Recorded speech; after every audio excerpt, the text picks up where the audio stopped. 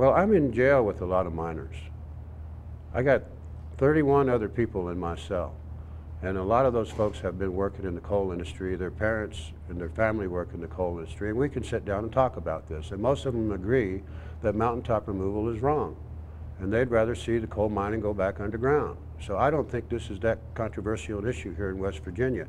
I just think that people are afraid to speak up because of the repercussions, because of the way that uh, people will come down on you. Why is mountaintop removal then so attractive to the industry? Well, there's money in it. It's cheaper.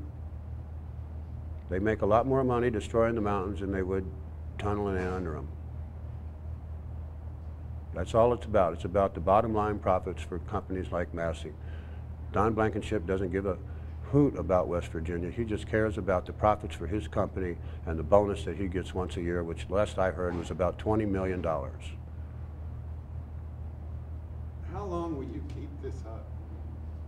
We're going to keep it up until we win. And we know we're going to win because I think times are changing. I'm not the first person that's faced these kind of odds.